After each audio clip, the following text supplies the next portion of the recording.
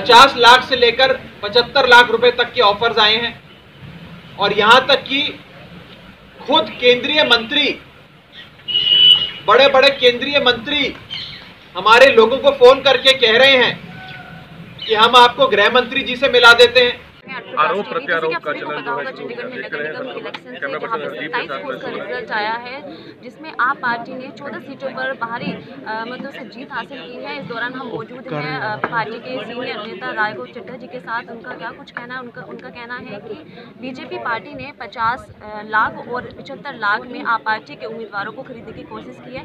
तो राघव जी आप इस पर क्या कहना चाहेंगे? देखिए बीजेपी के लोगों ने ऑपरेशन कमल चंडीगढ़ में शुरू कर दिया और हमारे लोगों से खरीद फरोख्त करने की कोशिशों में लग गए हैं।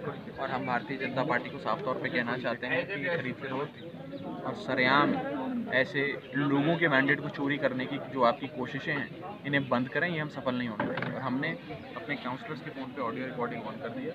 अब बीजेपी का कोई भी आदमी उन्हें फ़ोन करेगा उनकी कॉल रिकॉर्ड करके लोगों के सामने रखेंगे तो राघव जी जैसे कोई आपके पास आगे कोई एविडेंस होगा जो आपने एविडेंस अब सारी कॉल रिकॉर्डिंग और वीडियो रिकॉर्डिंग करके हम वो एविडेंस लोगों के सामने आपके सामने मीडिया के सामने रखेंगे आपने सुना ही होगा कि इनका कहना है कि बीजेपी के जो कुछ सीनियर लीडर्स चंडीगढ़ नगर निगम कि जब आम आदमी पार्टी जाएगा आप पार्टी के नेताओं को भाजपा ने अपनी कवायद उनका कि तोड़ की शुरू कर दी है राघव चड्डा ने भाजपा ऊपर बड़े इल्ज़ाम लगाए गलबात करने जी ताज़ा अपडेट्स व बड़ी खबरों के लिए सब्सक्राइब करें आज प्रकाश टीवी और बेल आइकन दबाना न भूलें।